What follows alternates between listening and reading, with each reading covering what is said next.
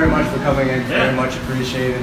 Couldn't get a thing done down done in this room without any volunteers. It is uh, very volunteer driven back here. We have a mission that we want to create our student athletes and help them become great leaders, great champions, and great Danes. And part of that is being part of our community.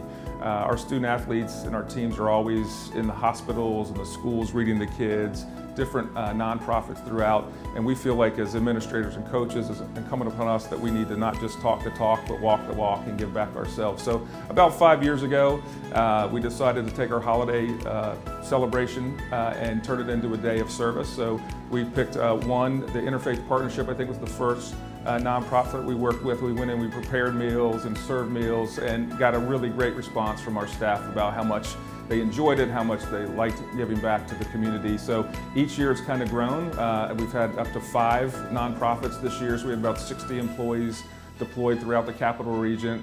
We have the uh, Interfaith Partnership, the YWCA of the Greater Capital Region, uh, the Regional Food Bank, City of Schenectady uh, mission, as well as the Uni Unity House. So just a really great day of giving back. It's nice to see our coaches and our staff you know, kind of bonding together under a common cause. We're, oftentimes we're out, they're out coaching, they're out practicing, we're out doing things. It's nice to spend some time together for, to, to really make a positive impact in, in the region.